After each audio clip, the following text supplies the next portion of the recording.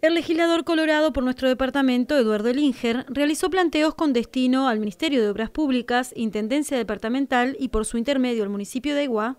asimismo al Departamento del Servicio de Internet de la empresa Antel. En dicho planteo, el diputado expresó que abocando la atención en las zonas más distantes de la capital de Maldonado, hay dos situaciones que ameritan atención ya que afectan a la población de Aiguá, departamento de Maldonado. En lo concerniente al tema de transporte de obra pública, reclamó que los habitantes que circulan por Ruta 13, que une a Iguá con la ciudad de Minas, advierte sobre la situación que se repite diariamente debido al incesante tránsito de camiones de carga. El repecho denominado El Pororó, ubicado sobre Ruta 13, kilómetro 164, es una de las mayores ondulaciones de la zona de sierras del departamento de La Valleja, y subirla requiere obviamente un esfuerzo especial si de camiones de carga se trata. Los vehículos de gran tamaño, con zorra y transportando carga, realizan ese recorrido hacia distintos puntos del interior del país y hacia el país vecino, Brasil. En horarios pico de circulación, este trayecto se torna una verdadera caravana interminable de autos, camionetas y camiones, ya que es una ruta que conduce cotidianamente a trabajadores de las inmediaciones, estudiantes y pasajeros que trasladan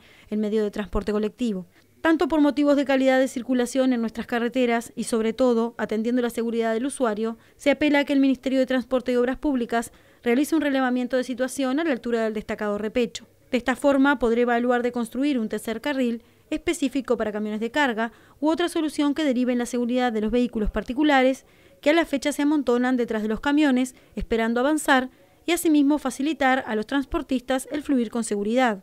Por otra parte, es continua la demanda de mejorar el servicio de conectividad en la ciudad de Egua en lo que velocidad de flujo de Internet se refiere.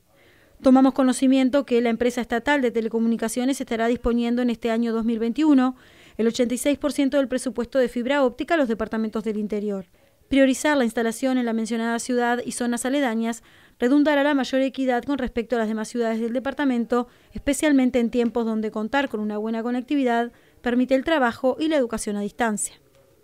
you